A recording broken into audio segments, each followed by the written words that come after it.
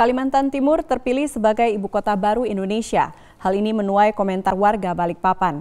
Selain masalah lingkungan, persoalan penyerapan tenaga kerja lokal menjadi sorotan warga Balikpapan. Ya, susah sih.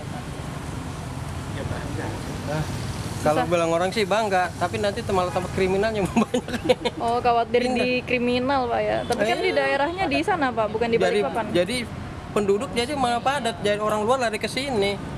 Oh, gitu. Tetap akan berdampak ke Balikpapan gitu, Pak ya. Nah, iya. yang namanya pembangunan pasti ada penebangan hutan. Ya setuju tidak setuju ya harus diterima.